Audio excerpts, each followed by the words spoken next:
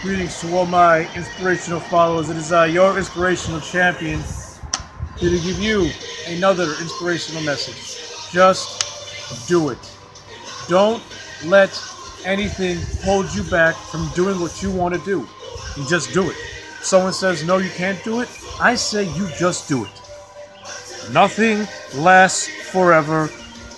Nothing remains the same forever, despite what many people would tell you, try to tell you.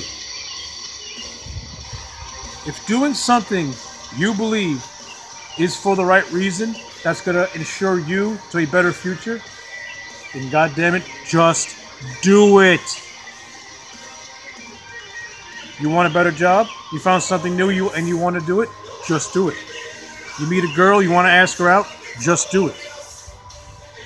You want to have a family, start a real life? Just do it.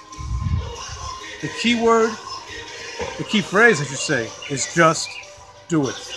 Let nothing hold you back. Or if you let things hold you back, you're going to remain in that rut for the rest of your life. But if you just do it, and you too will one day hold a piece of the pie.